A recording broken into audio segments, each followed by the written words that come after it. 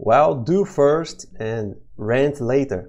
This is an USB cable and this is a OTG adapter. You don't need to use this model, can be anyone. You plug it in here. Then this other side you go to your to your cell phone. This this is a J5 Prime. And then you open an app called Medibang Paint I think it wasn't showing. You go to this bottom left edge button here and you go settings and then you pen pressure on and show cursor. As you grab your, your pen, don't know if you can see. Ah, now here it is. So how, as you can see, the cursor is showing up.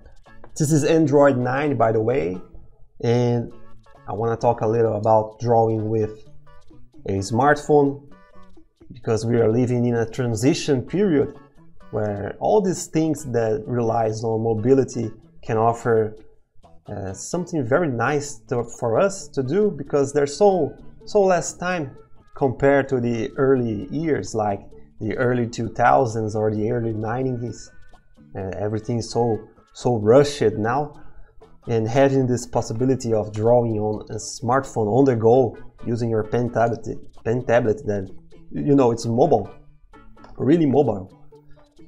Uh, it's can can be a lot of help. Can can draw wherever you go.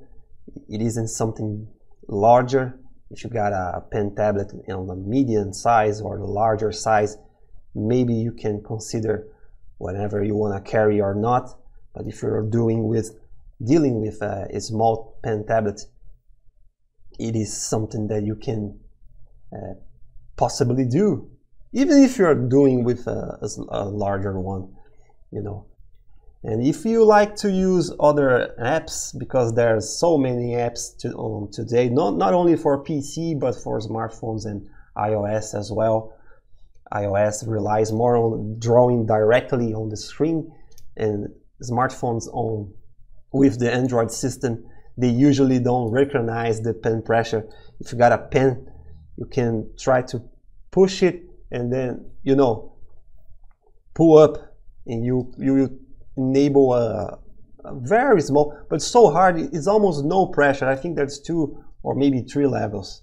But other things that you can do if you don't want to use an app like this Medibang, that's free by the way, you can download on the Google Apps you can enable some systems. I'll try to, I don't know if it is the right way to show, but we'll talk about it eventually. But before we continue, the first thing you need to ask yourself if you're looking for drawing or you want to draw on your smartphone is do you really need a, a new smartphone, a new pen tablet?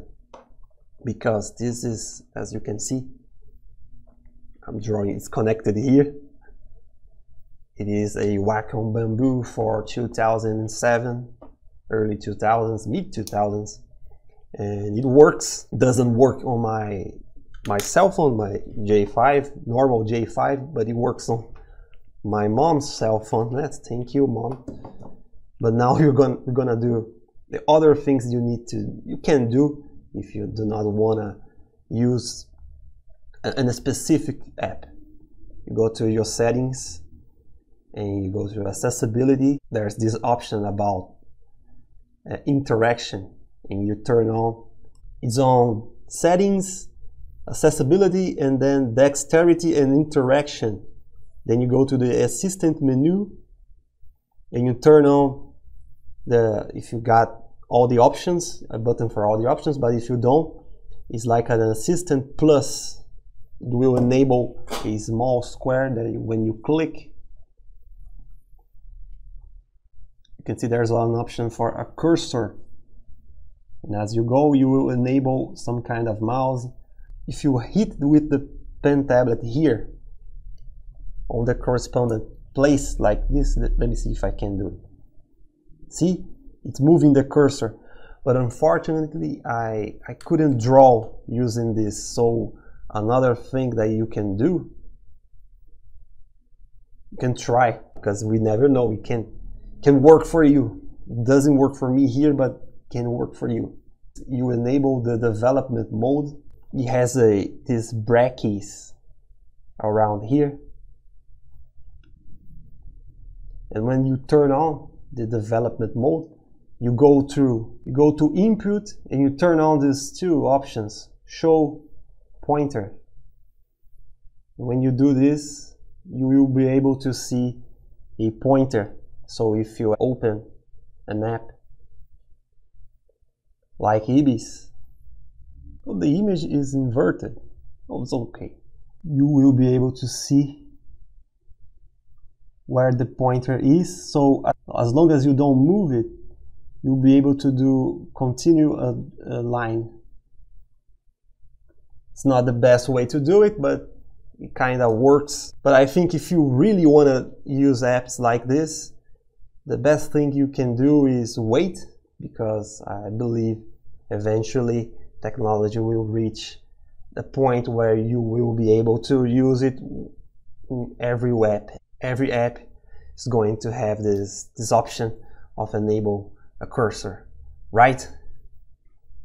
So until the next time, take care.